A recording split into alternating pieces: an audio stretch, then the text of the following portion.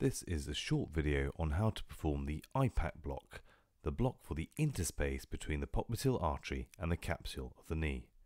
Here are my disclosures and I'd like to mention the Complete Anatomy app by 3D4 Medical where I take many of my anatomical diagrams.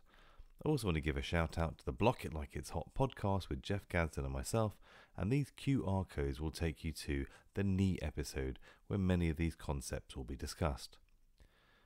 I'm going to discuss the indications for the IPACK block, the innervation of the knee in brief, give you some scanning tips, and then show you a couple of IPACK blocks. What is the indication for the IPACK block?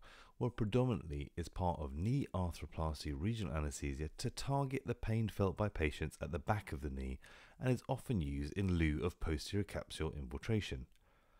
The cutaneous innervation of the lower limb isn't really relevant to the IPACK block, so I'm going to focus on the osseous innervation. If we look specifically to the posterior aspect of the knee, you can see just what a significant contribution the sciatic nerve and the obturator nerve contribute to posterior knee innervation. This slightly complex diagram is taken from my main knee arthroplasty regional anesthesia talk, but I'm going to focus now just on the posterior aspect of the knee and you can see here that twigs or branches from the sciatic nerve along with the obturator nerve form the popliteal plexus and that innervate the posterior aspect of the knee. So let's have a look at the back of the knee in a bit more detail here. Of course, the IPACK block stands for the interspace between the popliteal artery and the capsule of the knee. And the reason we perform this technique is to target pain that people feel at the back of the knee after knee arthroplasty. There are a number of ways that we can take out the innervation of the posterior aspect of the knee. We can either do an IPACK block or surgical infiltration. And if we do a lateral insertion here, you can see that we've got to be cautious of that sciatic nerve when we're aiming to find that space between the femur and the popliteal vessels or we could approach from the medial aspect of the knee. Uh, and you can see here we've got to be careful of the blood vessels including the long saphenous vein. The other alternative is that you perform a true adductor canal block and the rationale behind that is the superficial femoral vessels will dive through the adductor hiatus to go to the posterior aspect of the knee. And if you deposit local anesthetic at the point that the superficial femoral vessels are about to dive down the back of the knee, the local anesthetic will follow those down uh, and it will actually take out the popliteal plexus from that aspect. Uh, so this is another option available to you.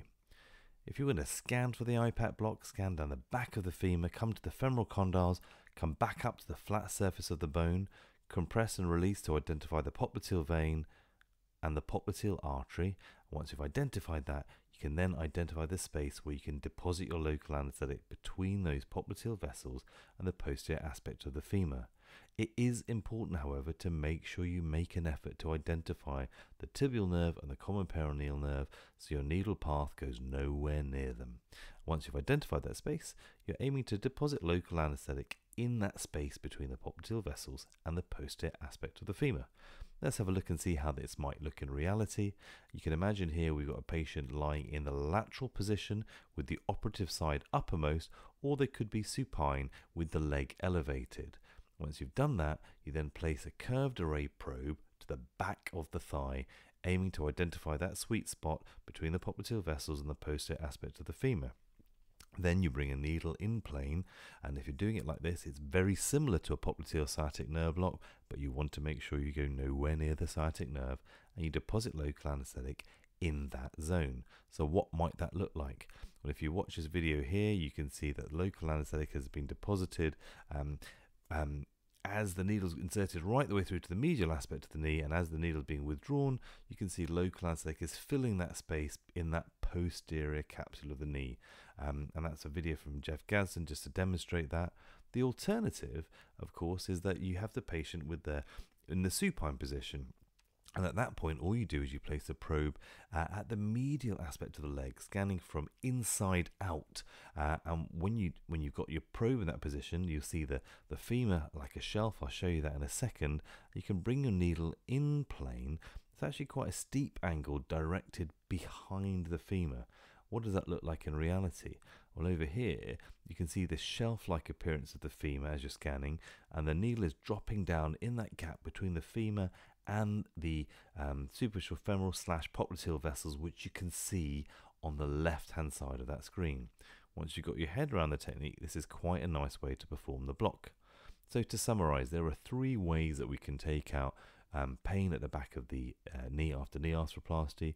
You can perform a true uh, IPACK block uh, with a medial or a lateral insertion, or you can perform a distal adductor canal block, aiming to get local anesthetic to follow those vessels down to the back of the knee. In terms of medication options, what choices do we have? Most of us will use either bupivacaine, levobupivacaine, or ropivacaine. Uh, and you don't need to use a strong solution, you can use a dilute solution of these uh, medications, but normally aiming to deposit between 10 to 20 mils. I hope you found that video useful.